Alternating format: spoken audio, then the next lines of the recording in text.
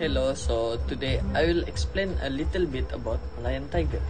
First is about the Malayan tiger conservation status, which is extremely endangered because of the current population of Malayan tiger is less than 250. Next, the characteristic of Malayan tiger.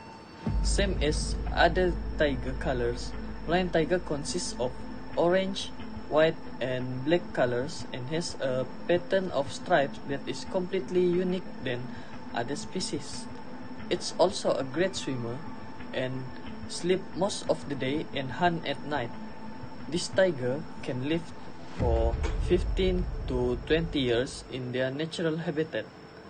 Malayan tiger live in Malaysia in Southeast Asia. Specifically, they are found in Pahang, Kelantan, Perak, and Terengganu. They live in tropical forests because the dense of trees in these forests make it easier for the tiger to stalk and capture the prey. Okay, so today I will present about main issue faced by Malayan tiger, which is illegal poaching. So, what is illegal poaching? Poaching has been defined as the illegal hunting or capturing of wild animals, usually associated with land use rights. What causes poaching of Malayan tiger? Some examples of illegal wildlife trade are well known, such as poaching of elep- elephants for ivory and tigers for their skin and bones. And then uh, for Malayan tiger, they are illegally hunted but for the traditional Chinese medicine market.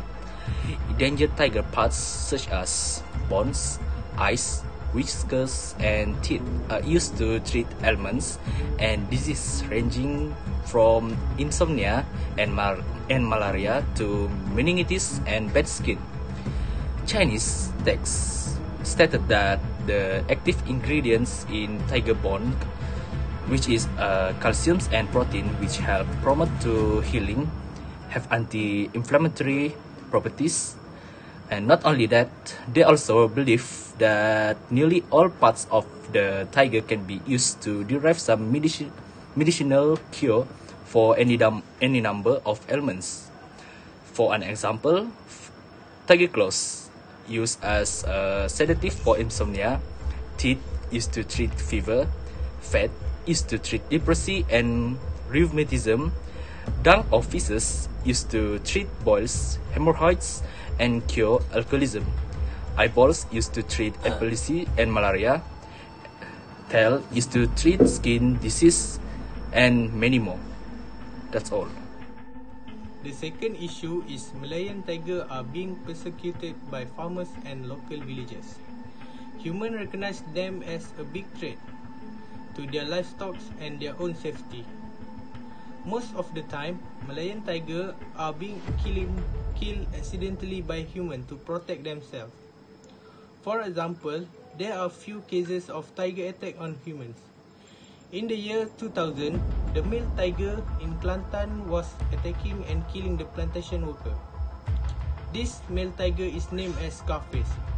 Because of this accident, the encounter of human and tiger will only lead to the killing of the tiger. Next, I will discuss about the solution that have been taken to counter the extinction of the Malayan tiger.